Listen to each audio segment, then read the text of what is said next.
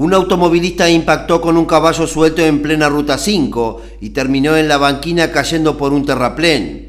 El hecho ocurrió en la mañana de este miércoles sobre el kilómetro número 97 de la mencionada ruta, ingreso al puente carretero. El conductor del automóvil no pudo evitar colisionar con el caballo suelto, consecuencias de la espesa niebla existente a esta hora de la mañana. Producto del choque el animal murió en el lugar y el vehículo sufrió importantes daños materiales. Su conductor, un funcionario militar que se dirigía al sur, fue trasladado sin lesiones de gravedad a un centro asistencial.